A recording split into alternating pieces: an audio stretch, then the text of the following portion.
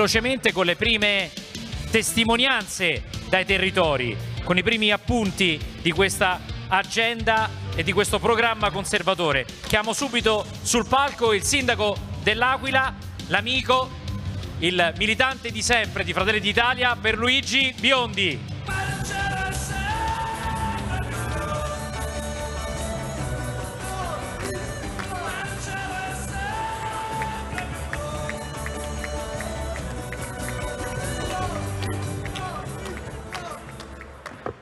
Buonasera,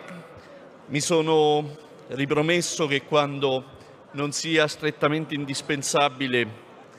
non parlerò di terremoto e non parlerò dell'esperienza di dolore e di lutto della città dell'Aquila, ma parlerò del modello dell'Aquila. Un modello dell'Aquila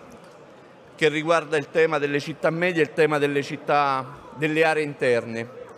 le aree interne che sono finite in un modello che si chiama Carta dell'Aquila e che è stato raccolto all'interno del documento che ci è stato consegnato in occasione dell'avvio di questa,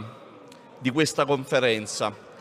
Credo che ugualmente alla questione meridionale di cui ha parlato anche la leader del nostro partito,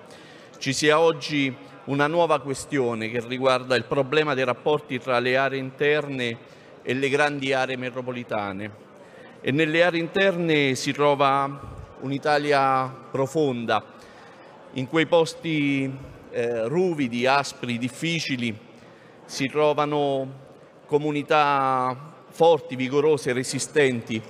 comunità in grado di sopravvivere anche alle contrarietà dei territori, all'assenza di servizi, alla scarsità dei servizi, alla carenza di offerta sanitaria, di trasporti di formazione, ma in quelle aree interne si trova anche, e lo dico a chi ci ascolta e anche un po' al partito, si trovano anche decine, centinaia di sindaci e di amministratori locali che magari non sempre hanno avuto lo stesso percorso fatto da molti di noi all'interno della militanza, della storia di passione della destra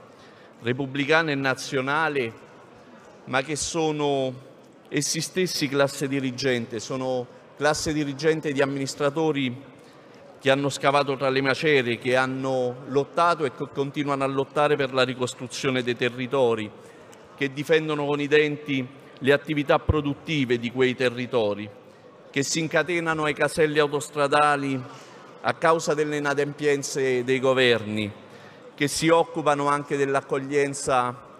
dei profughi, dei profughi afghani, dei profughi ucraini e che magari anche inconsapevolmente danno vita e sostanza a quel patriottismo comunale di cui parla il documento che il Dipartimento Enti Locali dell'ottimo Guido Castelli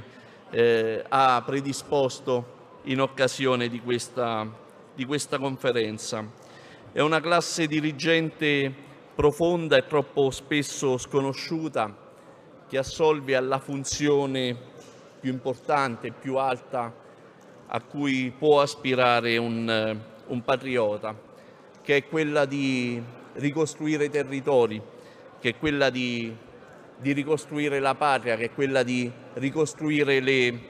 le comunità. E di questo il nostro partito dovrà tenere conto se effettivamente vorrà diventare, come vuole diventare, il partito della nazione e il partito dei territori. Grazie.